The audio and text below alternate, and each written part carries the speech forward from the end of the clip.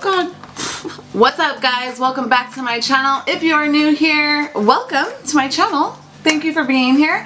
If you haven't subscribed already, make sure you do that so you don't miss out on any of my videos. Today's video is all about this new Maybelline Lemonade Craze eyeshadow palette. It just launched on, um, well actually I pre-ordered it a couple weeks ago. It launched like on the 13th, just got it, now I'm filming with it. I wanted to purchase it because when I first saw pictures of it on Instagram, I was kind of in love with it. I mean look at these colors. It's perfect for spring, perfect for summer.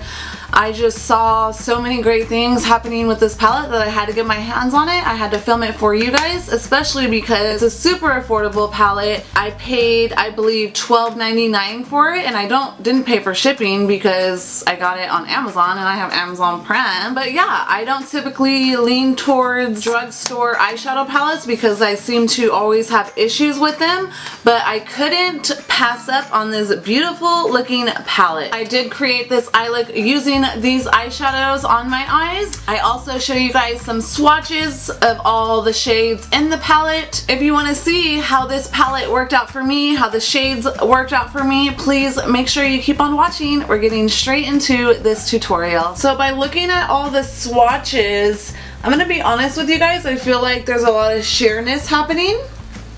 I kind of suspected that, but I was just hoping for a little bit more. What I'm really hoping is that they're not to show up sheer on my lid, so we are just going to kind of hope for the best.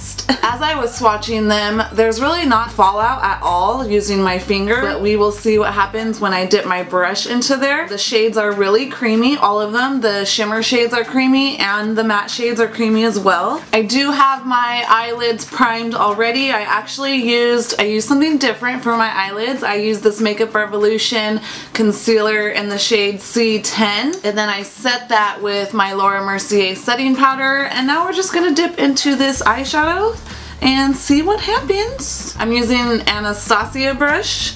Even though we already set the lids, I'm going to dip into this shade. Okay, wow.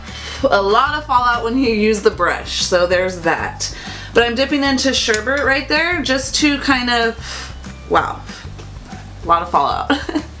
but I'm dipping into Sherbet just to get another like base going. I'm going to try to use a lot of the colors in the palette, maybe just use them just because. But now we're going to dip into this like soft pink salmon color. It's called Berry Ice. Oh god, there's so much fallout using the brush, it's crazy. But we're going to get this in our transition area. This shade is very sheer on the lid as well. It's probably more so for like a brow bone highlight, but whatever.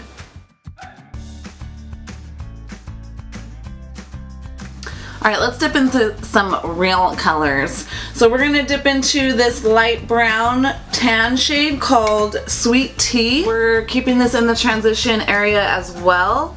And I'm bringing it all the way to the inner corner because we are going to go for a cut crease today.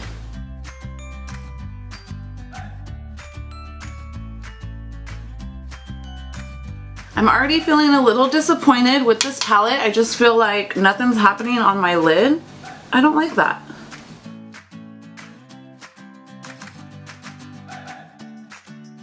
So it definitely took a while to actually get the color to pay off on my lids. I had to keep adding product and even with that I just feel like ugh, I need a little bit more from this. But we're going to move on. I am changing my brush because we're going to now focus more toward like the outer corner and the crease area. So this is just a Morphe brush. I'm sure it came in a set. We are going to move over to the darker brown called Old Fashioned. And we're starting on the outer corner and staying in the crease, working our way all the way to that inner corner.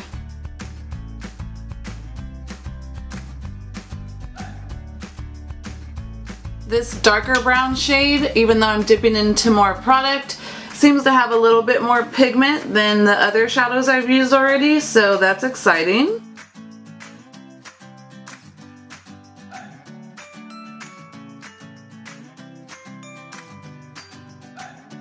Alright you guys, so I was done with the brown, dark brown shadow and it was looking okay over here.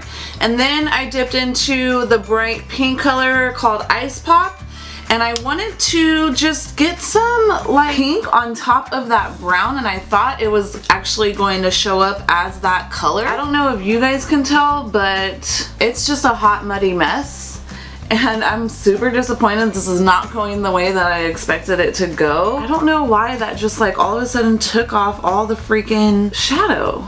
This is like really disappointing. So I'm going to dip back into the brush and I'm going to try to make it work.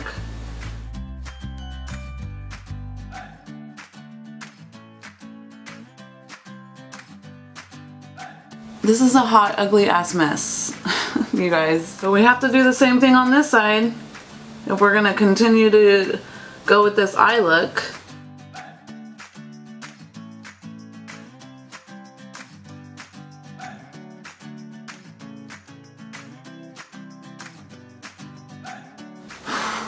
I'm getting so frustrated. This is just not what I had in mind. So it's becoming pretty obvious that these colors don't blend out well together. Super disappointing. Looks like a hot freaking muddy mess up in this. Just trying to blend everything out real quick. Oh my god, it's disgusting. What the hell is going on here? Come on. I don't even know where to go from here. I'm dipping back into that dark brown and let's just see what happens now. Putting the pink on top of that brown definitely made it look purple. You know when you have like a vision of how something's going to look based off of a palette you get and you have like this great idea and you see it all working like in your mind and your imagination and then when you're actually doing it and it turns into a muddy freaking mess it's like the most disappointing thing ever like this is ridiculous. I think what I'm gonna have to do is change up what I'm actually doing, like cover that part with some concealer or something. So that is exactly what I'm going to do. I'm just gonna cover this up real quick see what happens. I have a feeling I'm still going to end up taking it all off. So I'm using my MAC Paint Pot in Soft Ochre to carve out my lid for this cut crease.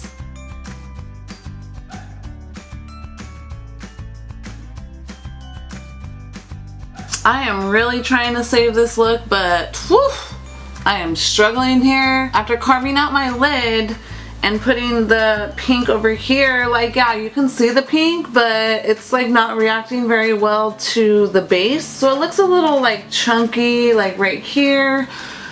But we're just gonna move on to the other side because we're just moving on. So I'm dipping into that pop of pink and we're just taking this on the outer corner of the cut crease I don't know if you guys can tell how the palette looks now, but there's major fallout, okay? I did use this yellow shade called Lemon Craze. You can't see it because it really didn't come up and I just covered it with a shimmer, but I'm gonna do the exact same thing because then I'll feel like it's not even.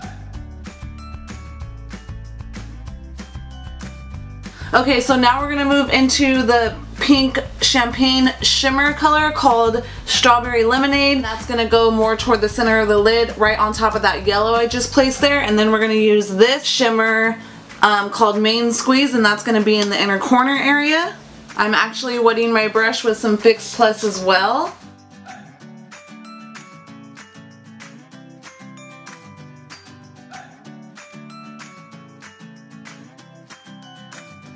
Alright, that's looking pretty even. I mean, I'm not like really liking how it looks, but we're just gonna move forward.